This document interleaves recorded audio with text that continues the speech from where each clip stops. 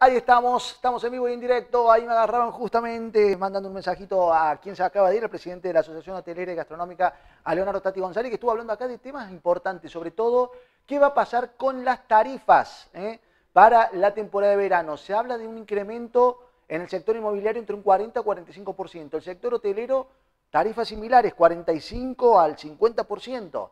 Obviamente todo tiene que ver con lo que ha sucedido y lo que va dejando este contexto de pandemia.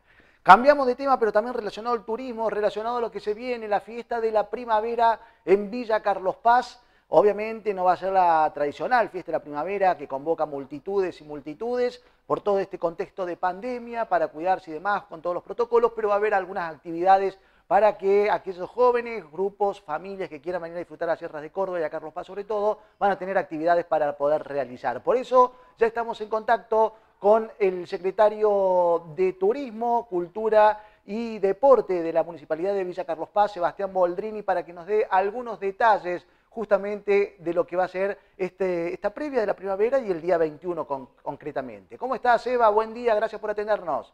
Hola, Jorge, buenos días, ¿cómo estás? bien, bien. Bueno, Seba, en primer lugar sé que están en este momento reunidos allí en la Agencia Córdoba Turismo con la presentación de los paseos de senderos en la provincia de Córdoba. Estás participando de la misma también, ¿verdad?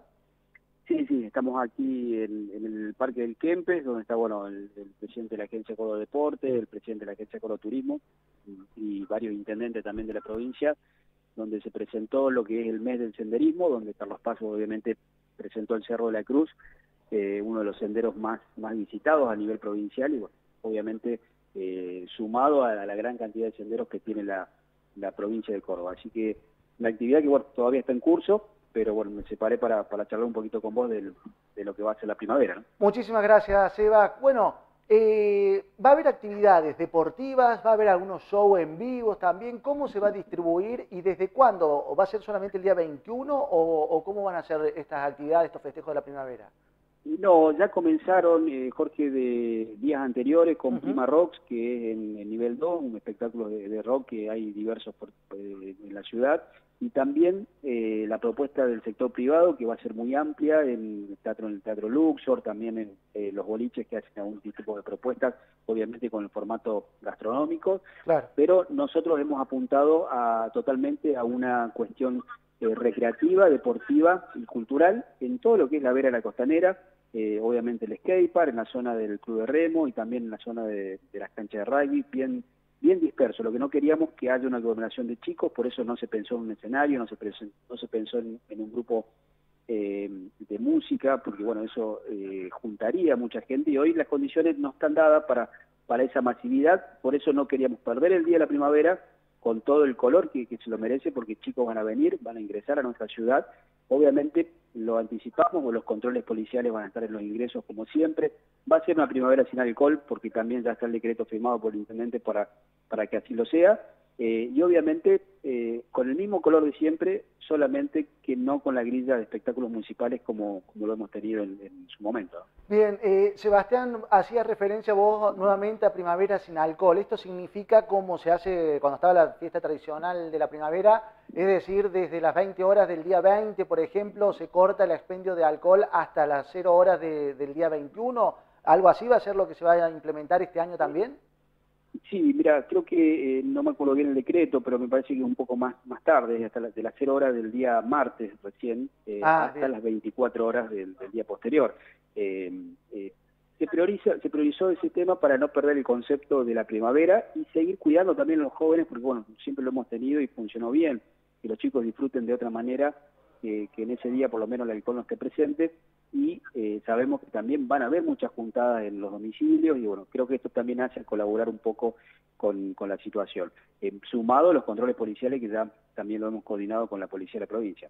Bien, eh, Seba, también el sector privado está trabajando bastante en esto, ¿no? Con promociones importantes para grupos de jóvenes para alojarse eh, en cabañas, departamentos, hoteles que ofrecen dos noches y pagas una. Digamos, de alguna manera el privado se ha sumado también para incrementar y, de alguna manera movilizar eh, para la llegada de la primavera que los jóvenes visiten Villa Carlos Paz y alrededores también, ¿no? Sí, sí, nosotros estamos con al día de hoy con la campaña de Carlos Pasear, que es una campaña de promociones para Córdoba y también con las provincias aledañas que ya eh, salimos eh, la semana próxima a, Santa Fe, hacemos Rosario, hacemos Paraná, vamos a hacer también la región Cuyo, La Rioja, Catamarca, eh, llevando la propuesta de Carlos Pasear. Esta, esta campaña pueden acceder los turistas a través de la página y ver todos lo que, los beneficios que, pueden acceder en hotelería, en gastronomía y también en comercio. Solamente presentando el flyer de Carlos Paciar en su teléfono eh, ya acceden a esos descuentos que son exclusivos. En entretenimiento también, en lo que es eh, fábrica de alfajores y demás. En la página de, de www.carlospaz.tour.ar van a encontrar todos los beneficios de la campaña de Carlos Paciar, que bueno, eh, la verdad que el sector privado se sumó, se sumó y acompaña para, para que nosotros podamos hacer estas campañas, ¿no? Bien, bien, bien. Eh, Seba, digo también, ¿cómo, imagino vos como, como secretario de Turismo, la recomendación tanto al sector privado como a los chicos que nos van a visitar y demás, eh, la recomendación de no bajar los brazos, ¿no? de mantener el cuidado, los protocolos, el tema del barbijo, la higienización permanente de manos y demás, ¿no? Sí, sí, nosotros también, Jorge, hacemos un trabajo de concientización y prevención, que lo hacemos en la vía pública, donde lo van a ver los chicos, eh, lo hicimos en el, fin de semana largo de, agosto, lo hicimos en la temporada de invierno, y se va a repetir ahora también, eh, concientizando, ¿no? Que los jóvenes se, sigan cuidando, que no abandonen el barbijo, que no abandonen el distanciamiento que tienen que mantener, y esas cuestiones lo vamos a hacer en la vía pública. Así que eh, vamos a entregar también kits sanitarios, que son los mismos que veníamos haciendo durante todas las temporadas, para que se sigan cuidando, ¿no? Sabemos que el, nivel de vacunados ya se ha incrementado, pero también nos queda una porción de la, de la población todavía con la que faltaría la segunda dosis, bueno, y creo que es una forma también de cuidarnos entre todos. Sebastián Boldrini, desde ya muchísimas gracias por este contacto, ha sido muy claro y ojalá que sea un lindo encuentro de la primavera, eh, que haya un movimiento importante para ir moviendo esta rueda turística en esta ciudad que vive netamente del turismo. Gracias, Eva. Gracias a vos, Jorge. Un abrazo grande. Igualmente, que tengas buen día. Ahí estaba Sebastián Boldrini, secretario de Turismo de Cultura y Deportes de Villa Carlos Paz, dándonos estos detalles, anticipándonos cómo van a ser eh, las actividades para la llegada de la fiesta del estudiante de la primavera. Antes de cerrar el programa, vamos brevemente a comunicarnos, viajar virtualmente hacia Icho Cruz. Allí está el intendente Paulo Tesio, que active un poquito el audio. Le vamos a decir, eh, allí para poder escucharlo, el microfonito que tenés en tu pantalla a la izquierda, lo activás, así ya te podemos escuchar, Paulo. brevemente, a ver si, No, me dice que todavía no, no, no tiene buena señal. Está, pero no eh, no se puede conectar correctamente. La idea era para que nos cuente también por qué Icho Cruz se caracteriza de alguna manera por recibir muchas familias, sobre todo con la llegada de la primavera. Eh, y para esa razón se están preparando. De todas formas, el lunes, en todas formas, para hacer un poquito más extenso la nota con Paulo, el intendente de Icho Cruz, vamos a hacer la nota con él el lunes porque estamos en la previa de la primavera. El lunes va a ser 20 de septiembre, si no me equivoco. Y allí también se va a esperar mucha gente también en la zona sur del Valle de Punilla. Así que el lunes vamos a estar con eh, el intendente de Icho Cruz, Paulo Tesio. Eh, vamos a ver, sí, dale. Hay una imagen en un partido de fútbol, antes del cierre de nuestro programa, en un partido de fútbol, en Miami, en una cancha de fútbol, el gato se llevó todas las miradas, hasta los jugadores pararon el partido.